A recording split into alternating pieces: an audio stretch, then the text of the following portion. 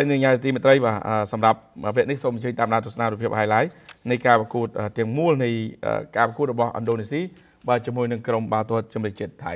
បាទលោកស្រីនិងញ៉ាទីមេត្រីឃើញហើយនេះជាទស្សនវិជ្ជាចេញពីភូកឡាឋាន Celora Bengano បាទដែលឱកាសរបស់ក្រុមថៃប៊ីមាននៅទីទី5បាទវិបាល់ free kick របស់ធីរថនប៊ុនម៉ាថាំដែលអ្នកចាំទីគាត់ដឹងខ្យល់ប៉ុន្តែគាត់ដឹងខ្យល់បាល់ប៉ុន្តែគាត់ប្រឆោត បាទឱកាសរបស់ឥណ្ឌូនេស៊ីព្យាយាមតែមកក្បាលដែរតែអត់ចំគោលដៅទេនៅនាទីទី17បាទវីណាថានជាអ្នកលើក បាទល្អមែនតើបាទឱកាសជាថ្មីបន្តទៀតកន្លែងនេះ បាទកំហុសកើតមាន បាទកើតមានបាល់ free kick ឲ្យទៅថៃក៏ប៉ុន្តែសារ៉ាយូយេនបាទសុទ្ធបាល់មិនចំគោលដៅទេរំលងរបស់ទី បាទរំលងរបស់ទីបាទឱកាសរបស់វីតាន់ស៊ូឡាម៉ាន់ឆ្កើបាល់បានពីអ្នកចាំទីរបស់ថៃ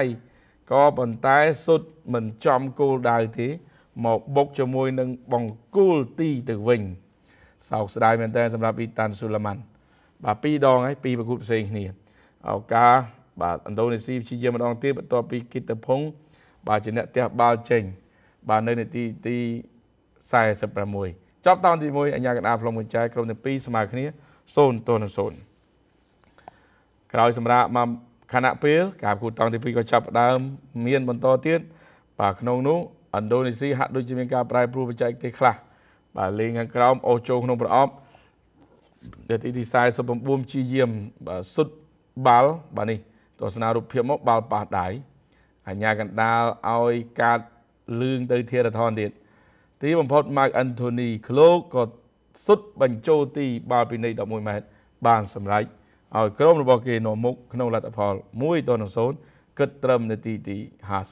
50បាទនេះរូបភាពបញ្ជាក់ពីក្រោយ បាទលូតបាល់ខុសបាទលូតខុសសម្រាប់អ្នកចាំទីគិតទីភងបាទម៉ាកអាន់តូនីក្លុកសបាយមែនតើអ្នកគ្រប់គ្រងក៏សបាយថ្នាក់ដឹកនាំប្រទេសក៏សបាយប្រុសលោកប្រធានាធិបតីជើញចូលរួមទស្សនាដែរឱកាសជាថ្មីបន្តទៀតកន្លែងនេះអូសមកជាមួយគ្នាប្រជែង